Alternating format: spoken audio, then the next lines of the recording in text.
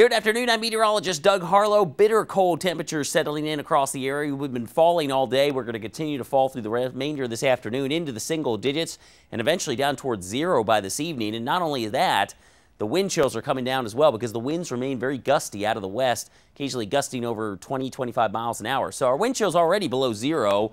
They're going to fall to 10, 15 below here by mid to late afternoon. And then as we head through the uh, nighttime hours, could fall as low as 20, 25 below zero in the valleys. 30, 35 below in the mountains. We have not seen temperatures and wind chill values that low in about 20 years. And you can get frostbite in under 15 minutes in that kind of weather. So stay inside as much as you can for the rest of today and tonight.